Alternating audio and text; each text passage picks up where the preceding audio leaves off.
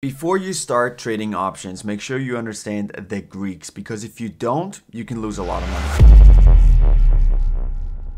Over the past year, I studied options trading, buying, selling them, understanding the Greeks, what we're talking about today. And of course, over the past year, I lost some money, I made mistakes, but the most important thing is that I actually learned from my mistakes, I avoided them, and started making money consistently. So much so that I dedicated the last couple videos on my YouTube channel to options trading because that's all that I do right now. My goal with this series is to give you enough information before the new year so you can start trading options starting January 1st. Don't start your New Year's resolution on January 1st. Start today, educate yourself so you're ready for the new year. So in today's video, I want to talk about the Greeks. It looks like it's a bunch of numbers and it looks complicated. I know, Trust me, as soon as you're done with this video, it will make a lot of sense. In general, the Greeks basically tell you how an option price will change to a specific circumstance. I will use my personal leap option on Apple again in this video so you have a real life example and know exactly how it will affect my option. Let's start with Delta. Delta shows you how sensitive an option contract is to a $1 change of the underlying stock. Let's look at my leap option. So this contract has a delta of 0.7924, which means if Apple, which is the underlying stock, increases increases or decreases by $1, my option contract will increase or decrease by 79 dollars. The current value of my option is $32.75 because one contract always handles 100 shares. That means my contract is worth $3,275. If Apple's share price increases by $1, my contract would increase by 0.7924 to 33.54 or $3,354, which is an increase of exactly $79. For call options, a delta has to be between 0 and 1. And for puts, a delta has to be between minus 1 and 0. Okay, moving on to Gamma. So Gamma shows you how delta changes when the underlying stock increases or decreases by $1.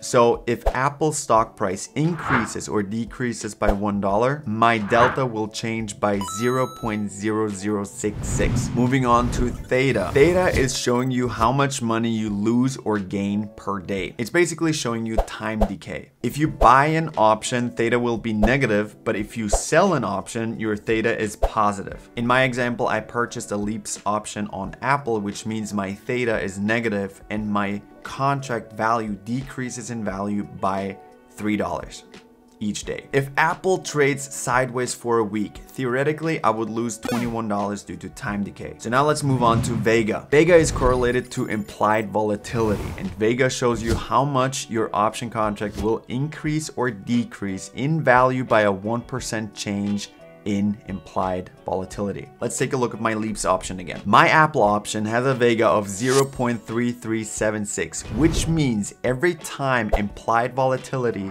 increases or decreases by 1%, my contract will gain or lose $33.76. Implied volatility is not a Greek, but just one side note. If implied volatility is above average on a specific option, it's good to sell options to secure a higher premium.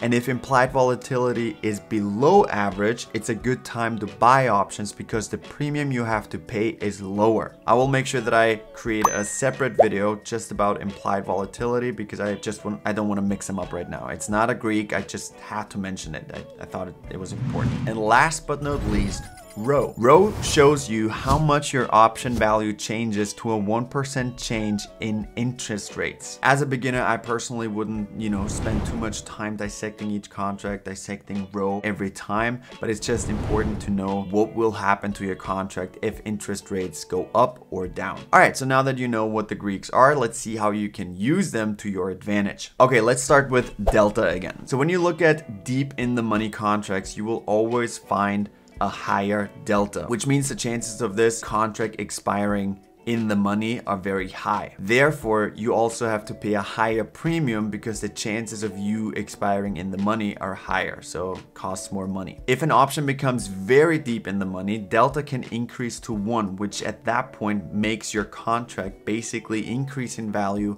by $1, the same as the stock price. And as I said, the higher delta, the higher the chances of you expiring in the money. Then we're moving on to gamma. If you see a high gamma, that means it's a risky trade. Why? Because every time the stock price increases or decreases by $1, your delta will change due to a high gamma. If you have like a, a 70 gamma, that means your delta will increase or decrease by 70 every time the stock price increases or decreases by $1. All right, so here we go. Let's do it one more time. High gamma. As we learned before, your delta changes the option price and your gamma changes your delta. So if you have a high gamma, that means it's a riskier trade because every time the stock increases or decreases by $1, your delta changes by this high number of gamma. So High gamma, risky trade. All right, now we're moving on to theta. Theta is the time decay. Depending on your strategy, if you're buying or selling um, contracts, your theta is different. So if you are an option seller, you want a high theta because a high theta means that's the money you gain every single day due to time decay. If you're an option buyer, you want a low theta because you don't want to lose money every single day. I mean, you will lose money to time decay, but you want to minimize that to